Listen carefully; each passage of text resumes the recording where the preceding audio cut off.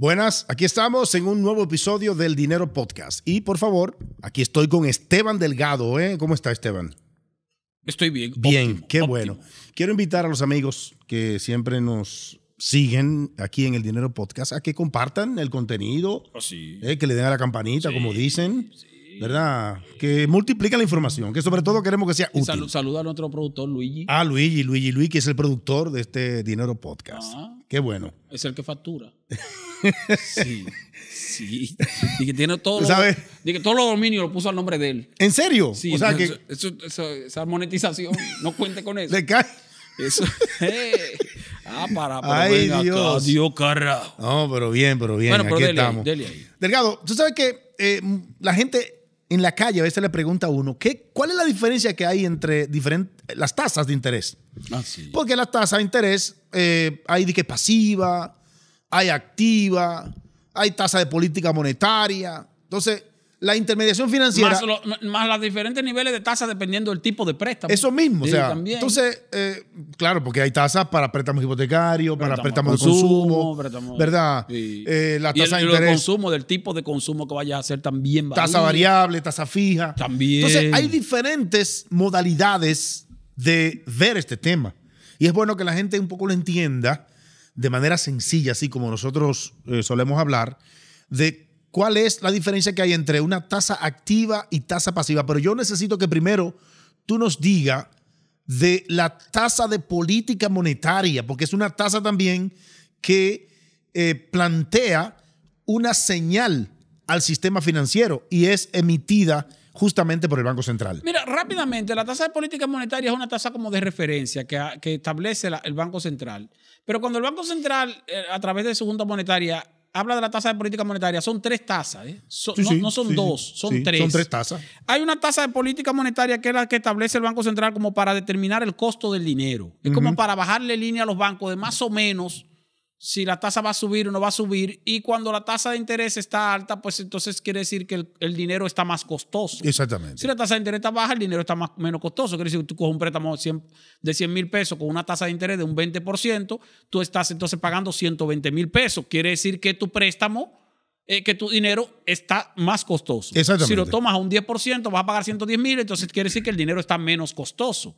Entonces, esa es una referencia a la tasa de política monetaria con relación a lo que van a hacer las entidades financieras, tanto para la tasa de- pasiva como la tasa activa. Ahora, el banco también publica, lo que pasa es que no es del interés de nosotros, sino de los propios bancos, la tasa que el Banco Central le paga a los bancos cuando los bancos tienen sobre liquidez, Que es el overnight. que es el dinero que les sobra. Porque la, la repo es la otra. Exactamente. pero primero vamos con la pero- overnight. Cuando los bancos tienen dinero sobre liquidez, Sí. de un dinero que le entró, depósitos que le entraron y que no llegaron a prestarlo, entonces lo que Sí. hacen es que lo depositan en el banco.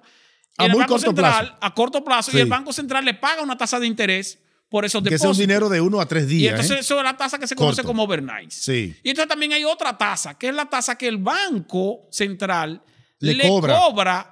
A los bancos cuando los bancos necesitan liquidez. Exactamente. Que el Banco Central tiene liquidez, hay un banco que tal vez le falta dinero para prestar porque tiene una demanda de crédito grande, entonces el banco dice, bueno, yo te mando, te, te- te- te doy liquidez, pero esa liquidez tú tienes que pagarme eso porque yo te, te estoy prestando dinero para que tú prestes. Exactamente. Entonces esa es la que se conoce como la iglesia entonces, de repos. Entonces, es bueno entender, y vamos a caer ahora en la activa y la pasiva. En el, para hacer la comparación, la repo viene siendo la activa para el Banco Central. para el Banco Central. Sí, sí. Y la overnights viene siendo la pasiva. Exactamente. Para el Banco Central. Exacto. Ahora, Sí. en, el, en la banca per se, cuando yo tomo un préstamo o cuando el banco mm, eh, eh, me facilita, por ejemplo, un certificado que yo compro en el Banco Central, que yo invierto en un certificado en, en- en la banca, donde y el sea. banco te, te da una tasa de interés. a ti, te da un rendimiento Es- a ti. ese por tú tener rendimiento. ese dinero depositado. Bien, Ese- esa, esa tasa se llama tasa pasiva. Exactamente. Es tasa pasiva para el banco. porque es un pasivo. Porque es un pasivo para el banco. El banco te está pagando por tú depositarle dinero. Entonces, esa, la tasa pasiva es la tasa que recibe el cliente Muy bien. cuando deposita dinero en el banco. Porque es que el banco asume un compromiso y los compromisos financieros para cualquiera, ya sea para ti o para un banco, son pasivos. que tú asumes. Exactamente. porque tú tienes que pagar, es una deuda que el banco asume contigo con ese interés que tiene que pagarte de, Y entonces, por eso, la tasa que tú le pagas al banco cuando tú tomas un préstamo se llama tasa activa, la que tú pagas, la que nosotros Sí. le pagamos. Cogiste un préstamo, si tú le estás pagando interés al banco, bueno, eso que tú le estás pagando al, al banco es lo que el banco identifica como tasa activa. Que es un asunto también interesante, Sí. porque estamos hablando de tasa pasiva y tasa activa con relación a los préstamos y a los depósitos. Sí. Sin embargo, también es un asunto importante con relación a la tasa de cambio. Fíjate que lo- lo- lo- siempre te publican bueno, que la- el banco, el, el dólar está a 59.60 para la compra y 59.90 para la venta, por poner un ejemplo. Sí. Bueno, pero es para la compra y la venta del banco. Sí, del banco. No para ti. Claro. O sea, claro. el banco lo compra a 59.60 y el banco lo vende a 59.90. Quiere decir que si tú vas a llevarle dólares al banco para cambiar dólares, el banco no te lo va a comprar a la tasa al, al- al- al precio más alto, te lo va a comprar al precio más bajito. Claro, porque él va a comprar. Él va a comprar.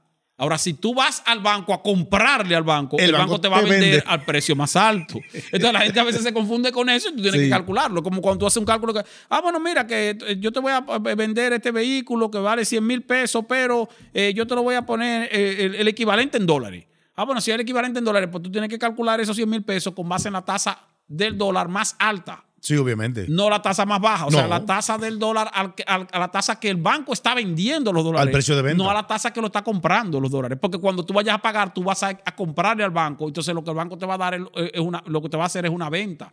Entonces no, no puedes calcularlo con la tasa de compra, sino con la tasa de venta. Entonces, es bueno que se Que sepa mismo que, se que. diferencia ahí la tasa de activa y la tasa pasiva Entonces, la, con la a tasa los activa es un activo del banco porque es un activo. Es un pago que el banco es- recibe. Es liquidez. Es un dinero que el banco recibe. Exactamente. Entonces, está el aspecto de tasa de interés real y tasa de interés nominal. Que hay una relación ahí que es bueno que le expliquemos a los amigos que nos ven en el Dinero Podcast. Porque eh, está bien, tenemos la tasa de interés activa, tasa de interés pasiva, la overnight, la repos y la tasa de política monetaria, que es la tasa de referencia, ¿verdad? Es una tasa básicamente que se utiliza para los préstamos interbancarios.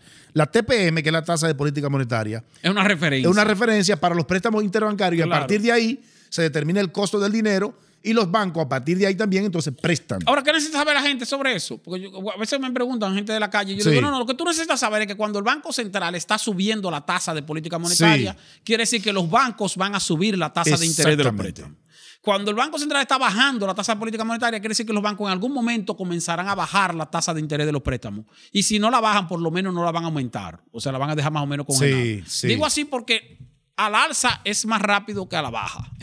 Los bancos son más rápidos subiendo la tasa cuando el banco, la el banco central la sube que bajando la tasa cuando el banco central Pero pasa la baja. así en todo porque el dinero es una mercancía. Sí, claro, pasa, así, Con, la- con- con- con los productos y los todo. productos, O ¿eh? sea, las alzas son más automáticas que las bajas. Entonces, bueno, que los amigos del Dinero Podcast sepan, en el caso de la tasa de interés real, es porque le ha aplicado la inflación, obviamente, tú le aplicas la inflación y ya tú tienes la tasa de interés real. Es como, ir- el, es como el rendimiento No, real. Ahí tú tienes que Es calcular. como el rendimiento real. Sí, tú tienes que calcular ahí. Por ejemplo, el caso de la, de la, de la, de la tasa de interés pasiva. Tú vas al banco y el banco te dice a ti que te va a dar. Tú dices, ay, mira, yo quiero depositar un millón de pesos, un certificado de un millón de pesos. Ok, Y el banco te dice, no, mira, te voy a dar una tasa de un 7% muy bien.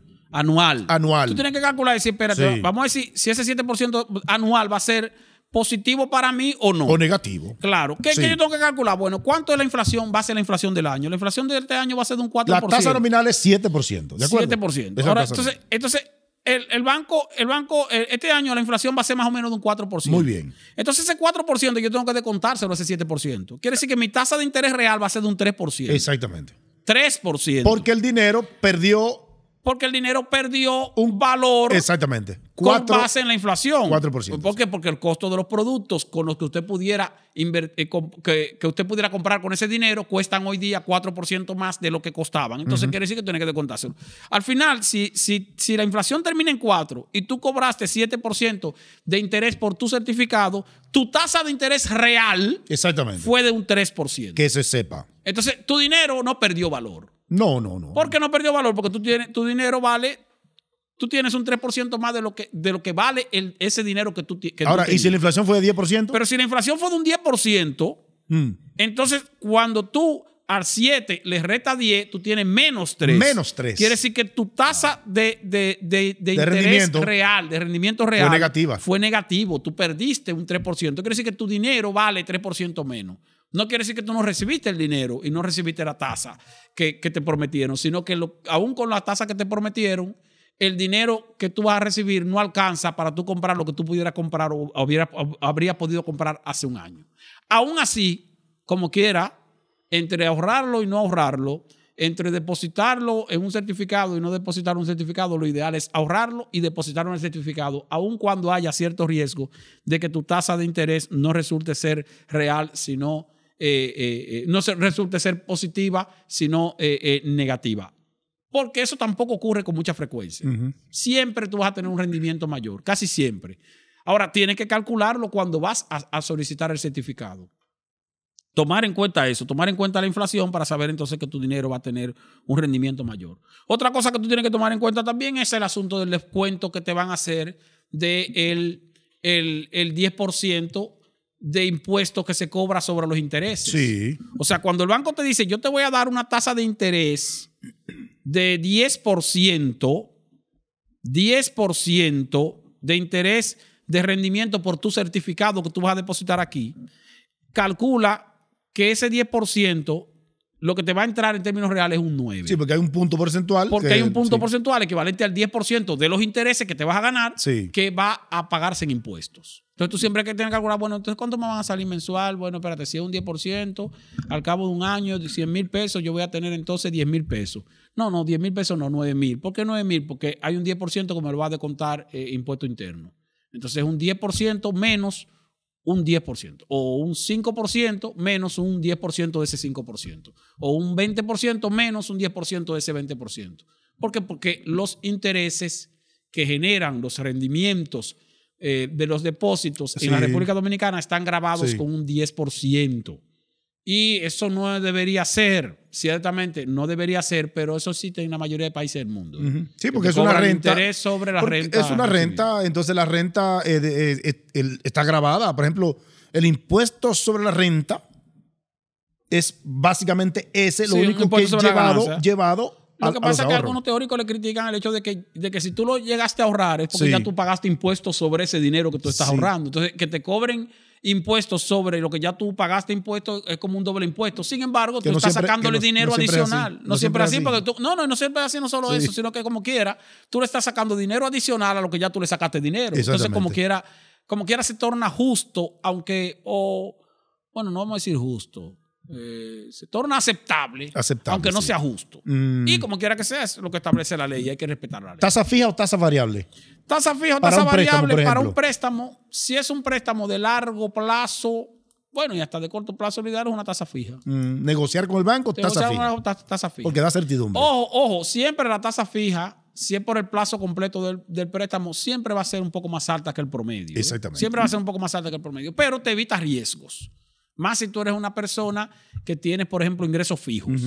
Porque el que tiene ingresos fijos, tú dices, bueno, yo tengo un salario. Mi salario es de 40 mil pesos. Yo voy a tomar un préstamo con tasa fija, voy a pagar un, una cuota de 12 mil pesos. Pues ya tú sabes que son 12 mil pesos. Tú no vas a tener variación. Y como tú nada más ganas 40 mil, tú sabes que hay 12 mil menos. Porque tú tienes ingresos fijos. Tienes que, manejarte con 28. Claro, que tiene ingresos variables, que negocia, que tiene negocio, que le entra mucho dinero. tal vez puede tomar una tasa variable, porque bueno, como quiera que sea, puede, puede que siempre tenga cierto margen. Eso va a depender de tu condición. Pero lo más recomendable para un asalariado es tomar préstamo con tasa fija y no con tasa variable. Ojo, las tasas varían. Por ejemplo, actualmente la tasa de interés tú tienes tasa de interés de préstamos de consumo. Pero hay diferentes préstamos de consumo. Por ejemplo, la tasa de interés para préstamos de consumo, o sea, tú vas a comprar una nevera, qué sé yo, vas a comprar un, una estufa, una cama, una cama. Bueno, préstamos de consumo, eso es consumo como consumo normal. Esa tasa de interés anda por un 22% actualmente. Más o, más o menos, un 22%. Anual. Que sea un poco más alta, eh, dependiendo del banco y dependiendo del plazo, dependiendo de la condición, pero un 22% anual más o menos. Ahora hay otro tipo de consumo, que es el consumo de vehículos nuevos y vehículos usados. La tasa de interés para vehículos usados eh, que te financia un banco está por ahí por el orden de los 15, 16%. Sí. Y la tasa de interés para vehículos nuevos anda por 14%, o sea, más bajita que la de, la, de financiamiento de vehículos, de vehículos viejos. ¿Por qué? Porque el vehículo nuevo tiene la, facilidad de que tú le puedes poner un seguro full y para el banco entonces no hay, hay menos riesgo. exactamente, el riesgo. Y la tasa de interés hipotecaria, que generalmente es la más bajita porque tú pones como garantía el propio inmueble y está más o menos en 14%. Hoy día está alta. 14% es, Es porque las tasas, es eh, y es están porque las altas. altas. El banco Pero apenas la- le bajó 25 las puntos el tasas otro van día. A ir, van a ir bajando. Y además también hay que tomar en cuenta, señores, antes era mucho más alta. ¿eh? Sí. Yo, por ejemplo, yo tomé mi primer financiamiento, Jairo, hace 20... Mi primer financiamiento hipotecario, yo lo Hipotecario, tomé hace sí. 25 años, 25, ¿Y 26 qué años. tasa? ¿Tú te acuerdas de la tasa? 19%. Oye. 19%. Así eran las tasas. Hace 20 años, la tasa de interés de los, de los Sí. préstamos hipotecarios eran 18, 19%. Ok. Y después en los últimos años fue comenzaron a bajar. Y hoy día tú, tú llegaste a tener tasas de 9%, hasta de 8% para préstamos Ujú. hipotecarios. Actualmente están en más o menos un 14%. Es aceptable, pero es alta. Sí. Para, tomando en cuenta el mercado, es alta. Y eso ha limitado incluso las ventas de, de- de- de- inmuebles. sí. Lo otro es que recuerden que cada una de, esas, de esos préstamos, todos los préstamos que usted toma, ya sean de consumo o eh, hipotecario, esos préstamos pagan una póliza de seguro adicional, que te lo cargan en la, en la, en la cuota. Que no es a la casa, ¿eh? Pero el seguro no es, no es a la casa, no es al bien. No. El seguro es al préstamo. Ah, bueno. Entonces tomaste el préstamo, préstamo de consumo. Sí. Bueno, pero ah, bueno, que te cobran un seguro también, el- sin préstamo de seguro. Es decir, entonces el, deudor Sí. murió antes de terminar el plazo, lamentablemente. Bueno, pues la familia no tiene que pagar ese préstamo. Ese préstamo queda automáticamente pagado por el seguro. Así es. Eso, eso es lo que tiene el seguro que se le aplica a los, a los financiamientos. Entonces, hay una situación, Jairo, que la gente también se pierde en detalle. Cuando una persona tiene mm, más de 65 años, Sí. Generalmente el seguro no aplica. ¿Por qué? ¿Por qué? Porque el, el- el- el- préstamo, la expectativa de vida de esa persona es limitada. Mm. Entonces, incluso el banco, el banco para, para los fines fi- de financiamiento tiene un límite de 70 años en la edad. Si una persona tiene 65 años y va a buscar un préstamo al banco, aunque tenga toda la garantía, eh, eh, como quiera que sea, si va a tomar un, un plazo por encima de 5 años, Sí. Que va a pasar de 70 años pagando el Ajá, plazo, sí. automáticamente el banco te dice, bueno, tienen que traer un familiar que sea, sirva de codeudor, Sí, sí. un hijo tuyo o algo por el estilo. Pero es por la edad que tú tienes, porque ya la aseguradora no te va a asegurar ese préstamo con base en el, en, en el plazo, si el plazo va a pasar más de la edad de, de 70 años de la persona. Y el promedio si la de, persona de- tiene de más de vida es 74 años. Claro, y si la persona tiene más de 70 años, incluso ni siquiera aplica un préstamo, tendría que tener obligatoriamente un codeudor, aunque ofrezca las garantías correspondientes. Pero es por la expectativa de vida de aquel que está tomando el préstamo. Por eso lo ideal es que cuando, por, ej- por eso le, le aprueban con mucho más facilidad un préstamo a una persona que tiene 28 o 30 años que a una persona que tiene 45 o 50.